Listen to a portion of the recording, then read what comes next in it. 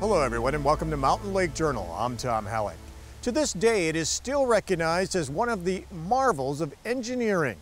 200 years ago this week, construction began on what would become America's first superhighway, connecting Lake Champlain behind me to the Great Lakes, New York City, and the world.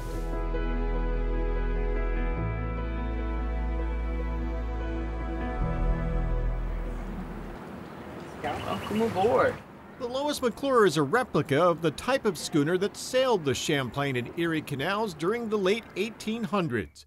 A ship built to resemble the wooden canal boats from that era, like the General Butler, one of the historic shipwrecks that sits at the bottom of Lake Champlain. Literally, this boat's 14 and a half feet wide. The locks were 15. You had three inches on oh. each side of this boat when they slid in. The ship, built by the Lake Champlain Maritime Museum, began a 100 day trip this past week celebrating the bicentennial of the construction of the canals that New York Governor DeWitt Clinton began on the 4th of July in 1817 in Rome, New York. 200 years later, the ship is making stops and giving tours in communities like Fort Edward. My great grandfather worked on the canal with the mules. No kidding. Uh, The crew shares the history of how the opening of the 63 mile Champlain Canal in 1823 and the much longer 363 mile Erie Canal just two years later were considered engineering marvels. It's an incredible feat of engineering. You think about the technology available in 1817, uh, the surveying that had to be done, the, the hills that had to be surmounted, the swamps that had to be traversed. Uh, it was largely done on the, the backs of human beings uh, and animals that took the brunt of the labor. Uh, and yes, it's an amazing story.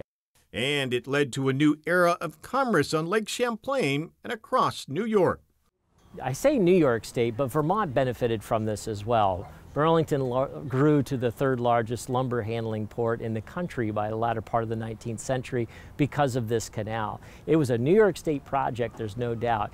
But as you traverse through New York State and you go out the I 90 corridor, guess what you're following? It's the original Erie Canal corridor, which the railroads followed after that, uh, and it's linking community after community along the way. Every one of those communities along that corridor have some kind of connection with this canal. It was a public works project that exceeded even the most ardent supporters' expectations. So uh, it was very contentious when it was proposed. A lot of people did not want to fund it, build it. It's only going to benefit sections of the country that aren't us. New York City initially was against it. When it was completed, it changed the fortunes of New York State and made New York City the most powerful city in, in the world.